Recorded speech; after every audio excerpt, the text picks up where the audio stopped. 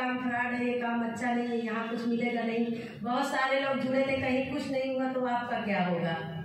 जब घर से निकलते थे तो आते थे रास्ते में लोग लो, बोलते थे कि अब गाँव में सब कमा चुके हैं तो अब यही अकेले कमाएँगे। अब कमा के दिखाएँगे। तो हमारे घर से भी दिक्कत आती है ये जुड़ने जुड़ाने का काम है यहाँ ऐसा कुछ नहीं होता पैसा वैसा मिलता है।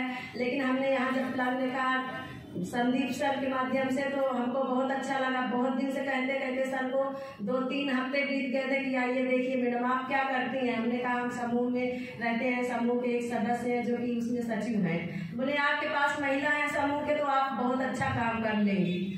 तो हमने यहाँ जब सर बोलते थे, लेकिन विश्वास नहीं होता था। जब देखा तो हमें अच्छा लगा, यहाँ से काम करना स्टार्ट किया तो घर वाले बोले कि अब वहाँ कहाँ रोज रोज मीटिंग जाती हो? जब घर वाले बाहर से आए तो उनको भी लेके आए, यहाँ दिखाए तो वो भी बोले, काम अच्छा है। फिर जब यहाँ ट्रेनिंग से लास्ट में लेके जाते थे शाम को तो लोग बोलते थे, पता नहीं, दिन भर जाती हैं, शाम को इतनी रात की आती हैं, पता नहीं कहाँ रहती हैं।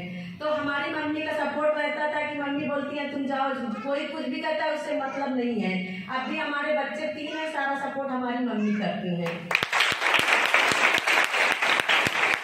बहुत बहुत धन्यवाद अपनी मम्मी को बोले कि हमारा प्रमोशन है, मेरा पैसा आ गया दस हज़ार मम्मी तो आपको चलना है, कहीं चलेंगे। एक बार मैंने जहाँ कह देती हूँ, वहाँ हमारी मम्मी हाजिर है घर वाले चाहे जितना मन करे कि यहाँ नहीं जाना है, वहाँ नहीं जाना है अम्मी से कहते हैं, जाना है तो कहीं आप चले जाओ, कहने दो।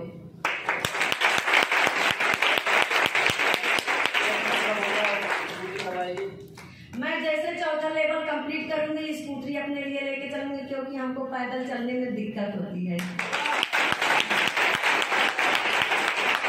देखो सुशीला मैडम ना बहुत मेहनती है। आप सब लोग फ़ील्ड में भी देखते हो ना? सुशीला मैडम अपने घर से पैदल निकलती हैं। कई बार हमें फ़ोन पे बताती हैं कि इनके छोटे छोटे बच्चे हैं जिनको उठ के खाना बना करके स्कूल के लिए तैयार करके और दिए हुए समय पे ये समय पे मीटिंग में भी पहुँच जाती है।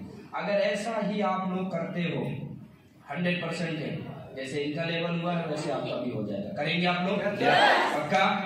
तो सुशीला जी का साथ दीजिए और इनकी टीम में जितने लोग हैं तन मन से काम कीजिए जल्दी से ये प्लेटिनम बनेंगे स्कूटी लेंगे फिर आपका भी जलवाई आपकी टीम में होने लगेगा। सही बात है?